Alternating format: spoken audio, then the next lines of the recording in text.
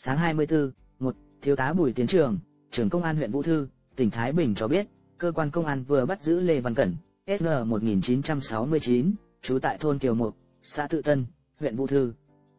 Cẩn, công nhân của công ty chính phủ Ngũ Kim Phúc Khánh, là nghi phạm chính gây nên vụ cướp ngân hàng Ari bằng chi nhánh Vũ Tiến, huyện Vũ Thư. Cùng với việc bắt giữ đối tượng Cẩn, số tiền 199 triệu đồng cũng đã được cơ quan công an thu hồi.